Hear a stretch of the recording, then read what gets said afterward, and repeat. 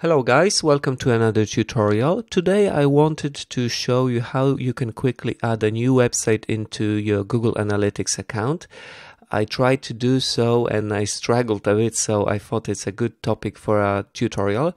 First, of course, you need to log into your account, uh, visit uh, Google Analytics website and log on.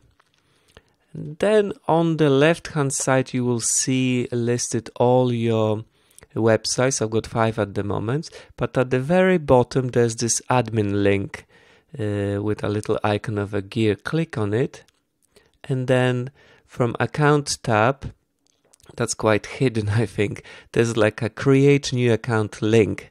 So click on this, and there you need to write a few options your account name, for instance, uh, website name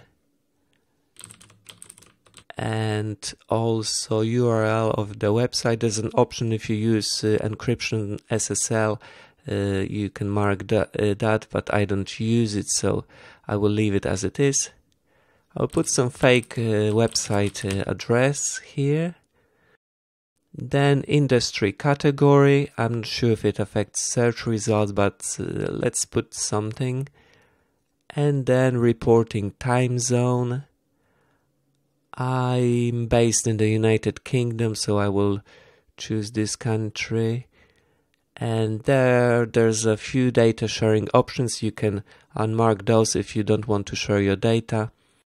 And you click on the uh, Get Tracking ID. You need to uh, accept terms of service.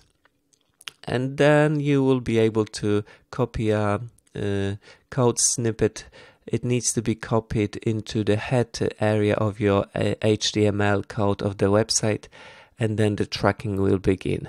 I think it needs, um, it's gonna work after a few hours, so the first stats will be uh, available after a few hours.